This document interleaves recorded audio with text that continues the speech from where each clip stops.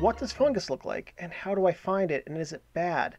So this lens is filthy disgusting with fungus. It's the worst I've ever seen, which makes it a great lens for showing what fungus looks like. So there's a couple different kinds you'll see in this video. One of them looks like an intricate lattice of spider webs. That's really bad. It's, it's extremely bad in this lens and it covers lens elements entirely. There's also some that look like little dots, like little pieces of cotton with coming out. Those uh, aren't so bad. And then there's a third kind that looks like dew on leaves in the morning. And I've never seen that and it made me vomit in the back of my mouth. This lens is filthy with fungus.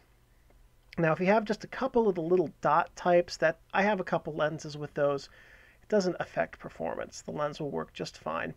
If you have an infestation like this one does, it's going to be very soft. In fact, if you have a lens element that has uh, that has fungus on it, it's going to be very soft.